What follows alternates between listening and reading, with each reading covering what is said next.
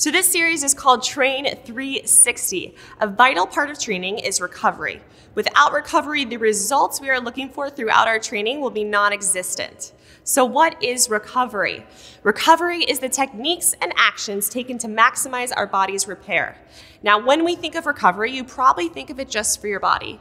Now, that's where we're wrong. Recovery is physical and mental. I always think of the 80 20 rule work hard, eat right, take care of your body 80% of the time, but the 20% should be well honored by living your life, relaxing, enjoying your loved one's company over a delicious meal. Throughout this series, we will be asking a lot from our bodies. So it's going to be important to treat it with love and care in the form of recovery.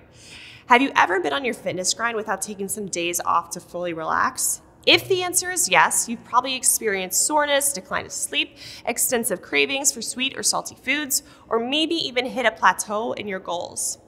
During this series, we want to try to avoid all of the above, which is why I put a list together of ways that we can recover. Number one is sleep. You guys, I listed sleep as number one because it is the most important. It is during our sleep in which our body repairs itself.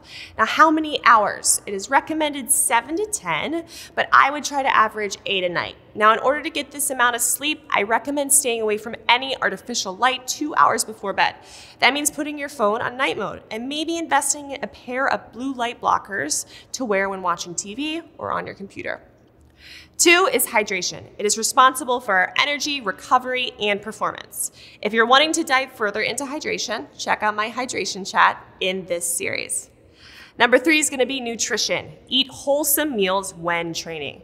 Food is fuel, the energy to our body and brain. Remember, you gotta eat good to feel good. Number four is stretching. It is vital before and after working out.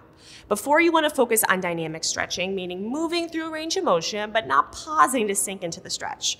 More just to get the body moving and prepped before you work out. Examples would be leg swings, toe touch to squats, knee pulls, butt kickers. However, post workout is the best time to do some static stretching, meaning holding a stretch in 20 second increments to help relax the muscles and get deeper into the stretch. Be sure to utilize your breath when doing so. Number five is going to be foam rolling. It helps to alleviate tightness, increasing blood flow, and aiding in muscle recovery. I recommend foam rolling for a short period of time before your workout, and then an extensive amount of time after. Be sure to treat your body in sections versus rolling back and forth. I like to start with my calves and then I make my way up. Six is taking a cold plunge or cold shower. I would try two to five minutes in a cold shower. Now, that will for sure take some practice on your end. So maybe end your showers with 30 seconds of cold water or switch between 30 seconds of hot, 30 seconds of cold. The warm water will expand the muscles while the cold will contract them, reducing soreness and ridding of metabolic waste.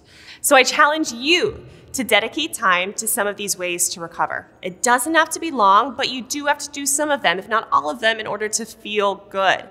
Build up the consistency, and they will soon be part of your daily routine. I am sure of it.